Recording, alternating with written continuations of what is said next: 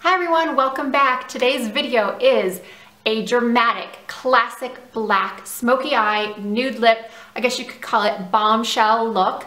I wanted to put this video out for you today because it's Friday, it's the weekend, so maybe you're going out on a date or with your husband, or maybe with the girls, uh, or maybe you just wanna play with makeup and try a new look. This is that classic black, dark, smoky eye. And it's very, very easy to achieve.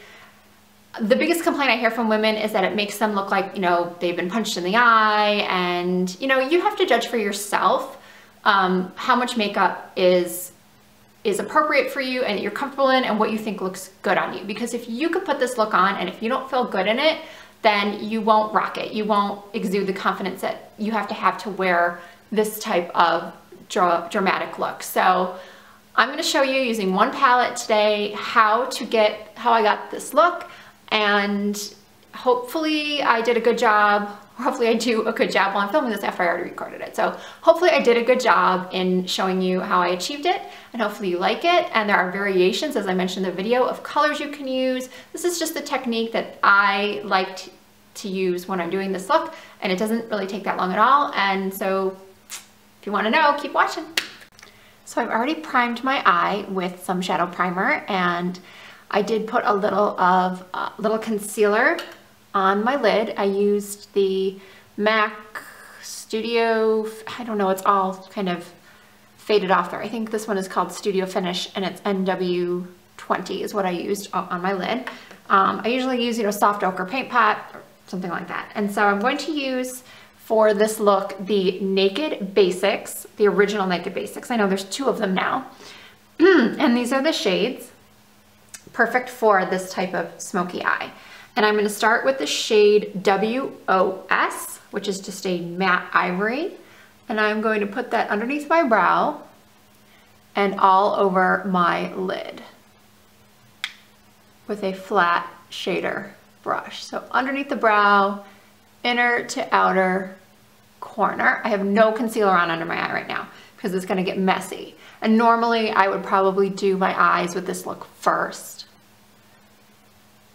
but I didn't today. So there we have that. Then I'm going to flip my brush around to use any type of fluffy brush. Again, this one is a quick color increase from Bare, Bare Escentuals, but I think it came in a kit, so I don't think it's available anymore. I'm gonna take ah, Naked 2 and Faint. These two, one's like a light taupe and one is a darker taupe. And I'm gonna stick my brush into both colors, tap off my excess, and maybe it's better if I go like this without leaning in. Maybe you can see it better. I'm gonna start at the outer corner and just make that my transition color. Whenever you're doing a heavy smoky eye, it's all about layering the color. And again, because my lids are hooded, I have to really watch where I place that crease color. So what you wanna do with a hooded eye is look straight on and then push the brush right to where it kind of, you know, you, where you push the brush in. And then you can close your eye and I'm a big circle maker. And then I go in the inner corner too because the black is gonna cover the whole eye. So I wanna make sure I get lay that base down on the whole lid and just blend, blend, blend, blend, blend. And then just go back in a couple times so you've got some really nice dark depth to it. And don't worry about going over here because we'll clean that up. And don't go too high on the brow bone either. Again, with hooded eyes, it's a little bit more difficult to judge how high you should go. So I do like to go a little higher because especially when I put my lashes on, you know, it's hard to see um, any shadow once the lashes go on. So then I'm gonna take another fluffy, this one's a little bit more tapered crease. This one is from Scott Barnes. Obviously, his line doesn't exist right now. I think he's coming back out with it um, next year or something, but I've had these for a while because I carried his brand in my store many years ago. So I'm gonna go into Crave, which is the black shade. And I'm going to start at the outer corner, lightly, lightly. I always start at the outer corner and I'm making little circles as if I was only gonna do it over here, as if this was the only area I was gonna apply this color to. Just blend, blend, blend. Then I start moving it into the crease and in that inner corner.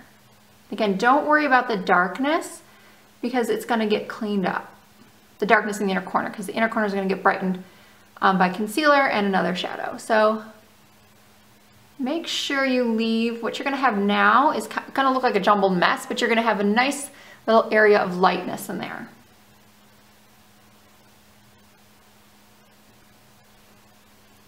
And then you're gonna take that same brush, now that you've gotten most of the product off of it, you're gonna take it and cover that light spot.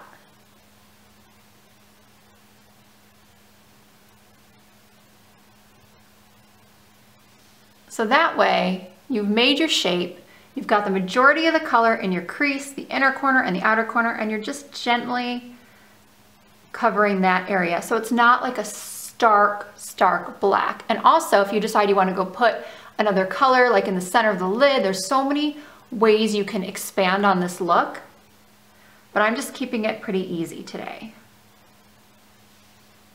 So that's that. That's the shape.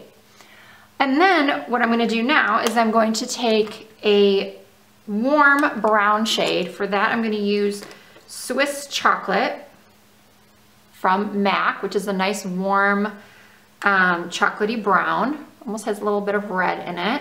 And then I'm gonna take a fluffy brush and I am going to go into my crease, my upper crease. Actually, let me get that um, compact again. It's easier for me to do it this way for you.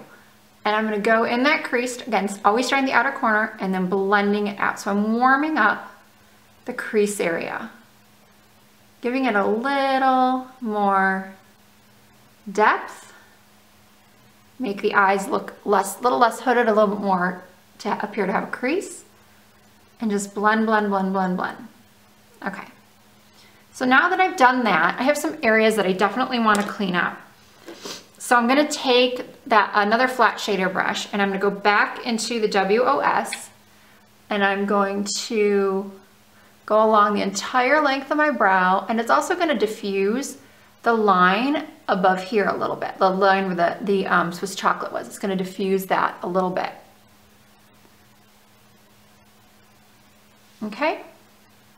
So next, I'm going to take a little teeny, teeny brush for my lower lash line. This is a Stila brush number 28. It's double-ended. And I'm gonna take that brush and I am going to, oops, I went into black first. I didn't mean to go in the black first. I'm gonna go into faint. Oh, now I have stuff all over my hand. I'm gonna go into faint, which is that darker taupe. Again, we're, we're building. And so that darker taupe is gonna go right under the lash line. Just softly under the lash line.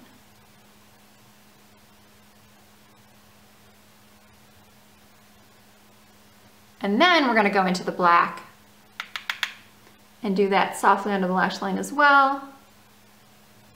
And as you notice, I'm just barely, hopefully you notice, I'm just barely touching my lash line with this. Because black can be very difficult to work with. You could get a lot of fallout, especially if you're new to working with black. And you can use a deep gray for this look, a deep plum. Okay. So then we're not gonna do liquid liner today. I'm going, because I want it to be, when you have this dark of an eye, you want it to keep, you wanna keep it a little bit softer. So I'm gonna just take um, a flat top brush. This is a Sigma flat definer E15 and I'm gonna take that and go right into, right straight into it, tapping off and I'm just gonna run that along my lash line. Not winging it, just giving it a soft, a soft line. Okay, and then I wanna go back and I'm gonna blend some more because you can never blend too much with a look like this. Okay, now I'm going to take a wipe Always have to have those wipes. especially when you're working with a smoky eye. And I'm going to put my finger around it and I'm going to clean up the inner corner, going just under where I did that shadow to be sure I don't take the shadow off, and then go up in an angle towards my brow. Being careful not to take off my brow. Work too hard for those brows. So then I'm gonna take a tissue and blot off any dampness from my wipe. And now I'm going to take my concealer. You can use a brush or your finger. And again, this is a MAC NW20, I think. And I'm gonna go in to my inner corner and then under here, under the eye, and then taking it up, following that line that I made with the wipe. And then I'm gonna take my Beauty Blender and I'm gonna tap my excess. And I will do a video on concealers, um, you know, the best ones that I found to not crease. But I do find that the Beauty Blender really, really helps with, um, you know, stopping creasing. A damp one, not like a super, super wet one, but one that is just, yeah, damp, like barely, barely wet. Okay. So now we have the eye, and then we are going to take, um, oh, I didn't bring down my under eye uh, setting powder, but um, that's all right. I can do that after. I'm going to take my lash curler and curl my lashes.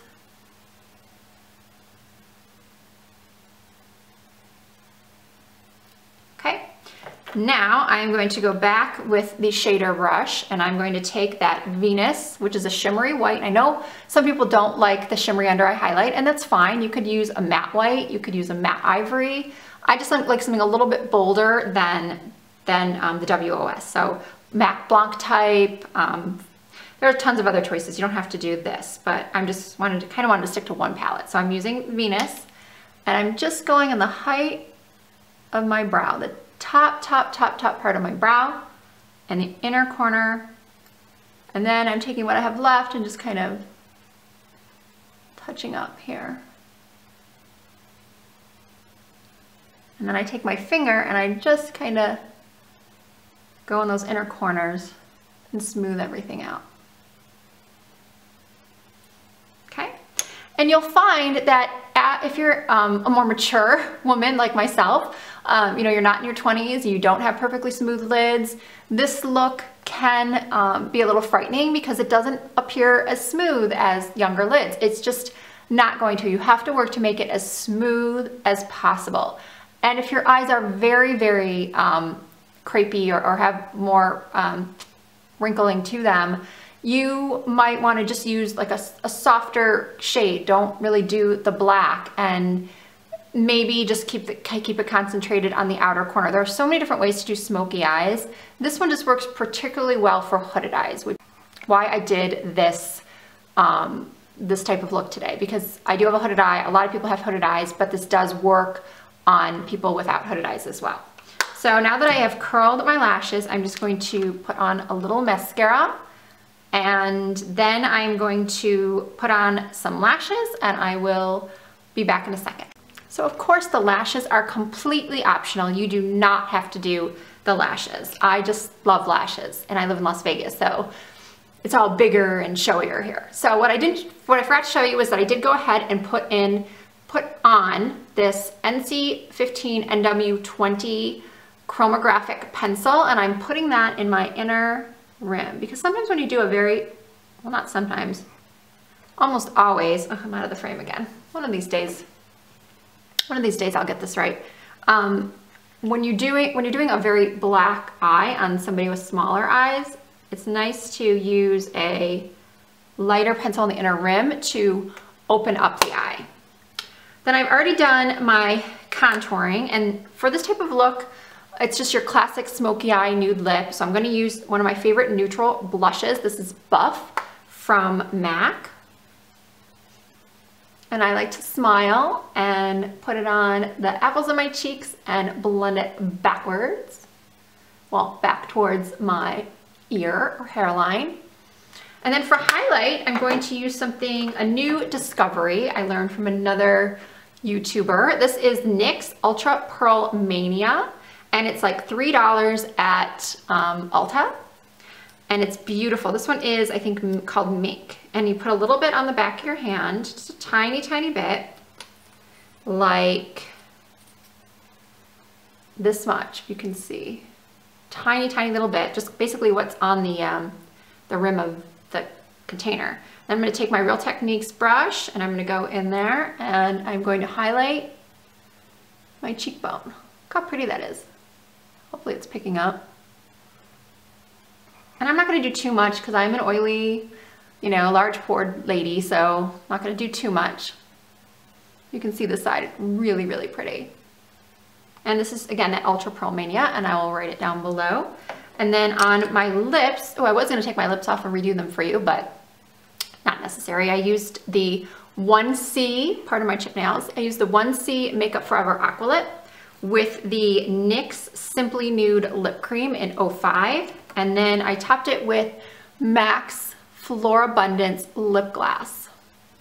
So this is it. This is the final look and I will show it to you one more time in, well, the whole look in just a second. So this is it. This is the final look one more time. It is a dark smoky eye with a nude glowy cheek and a nude lip. I do understand this video is not, or this look is not for everybody. It's not something everybody's gonna try, but I did just wanna put it out there for you because it is one of those kind of easy classic looks that, when I say easy, I mean that it's not a lot of steps, it's not a lot of products. It's um, a classic look that looks very nice on most people. Um, there are some women that might look at this and say themselves, it's just not for me, I'll never do it, and that's fine. But if you do try it, I would love to see it. Please email me a photo or tag me on Instagram in your recreation.